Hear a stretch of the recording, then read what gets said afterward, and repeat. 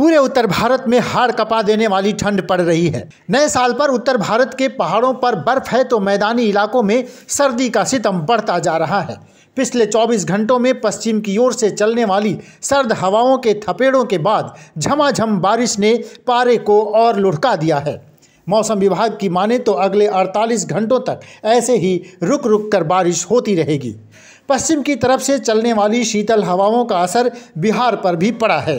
बिहार के राजधानी पटना समेत पूरे बिहार में पिछले 24 घंटों से लगातार बारिश हो रही है। बारिश के कारण बिहार में भी सर्दी का सितम बढ़ता जा रहा है।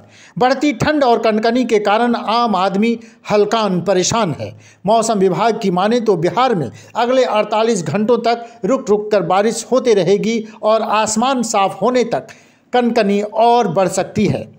बताते चलें कि मौसम विभाग ने ये बताया है कि एक पश्चिमी विक्षोभ चक्रवात के रूप में उत्तरी पाकिस्तान के ऊपर मंडरा रहा है। वहीं दक्षिण पश्चिम राजस्थान और उसके आसपास के इलाके में भी एक चक्रवाती परिसंचलन दिख रहा है। वहीं उत्तर प्रदेश के मध्य भागों पर भी एक चक्रवाती हवाओं का क्षेत्र बना हुआ है। यही कारण है कि पूरे उत्तर भारत में मौसम का मिजाज अचानक बदल गया है और हाड़ कपा देने वाली ठंड पड़ रही है। विमर्श न्यूज़, पटना।